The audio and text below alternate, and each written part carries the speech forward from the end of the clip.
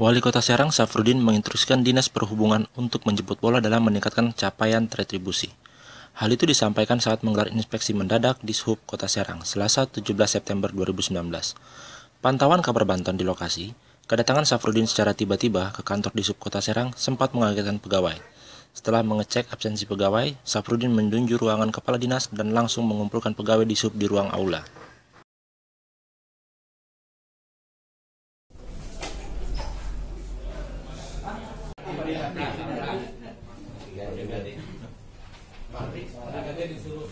September.